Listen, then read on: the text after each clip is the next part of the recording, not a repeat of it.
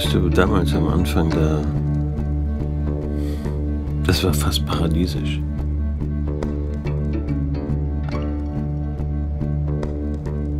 Auf einmal haben wir einfach den Bolle-Supermarkt geplündert. Gar nicht schwer. Einfach aufgebrochen. Die ersten Leute, die holten dann die Sachen nur ganz vorsichtig raus. Leicht gebückt, als wären sie kriminell. So bei Bieren, Frischkäse. Was man so braucht am Morgen. Und dann kamen immer mehr und holten sich das, was sie brauchten.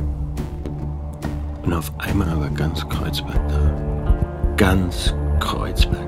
Ohne Scheiß.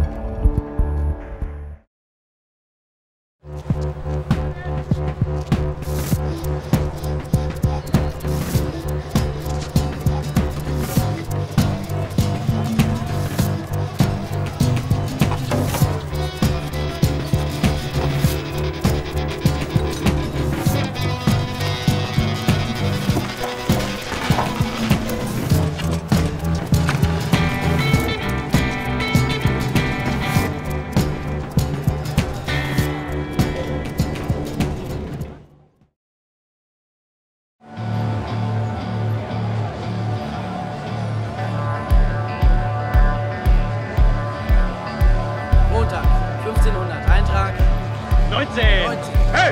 Oh! Let's go!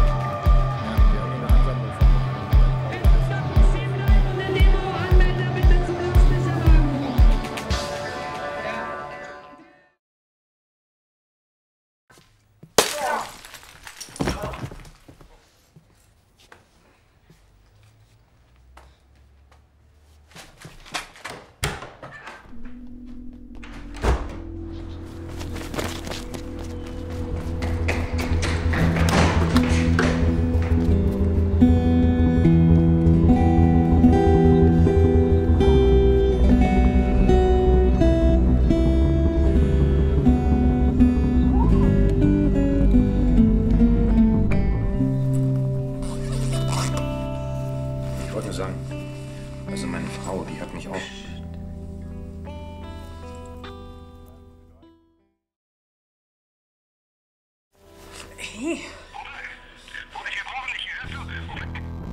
Oh, Scheiße! Oh, Scheiße!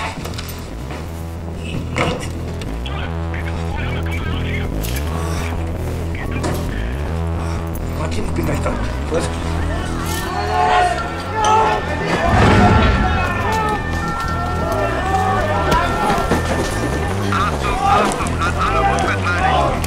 Entfernen Sie sich umgehend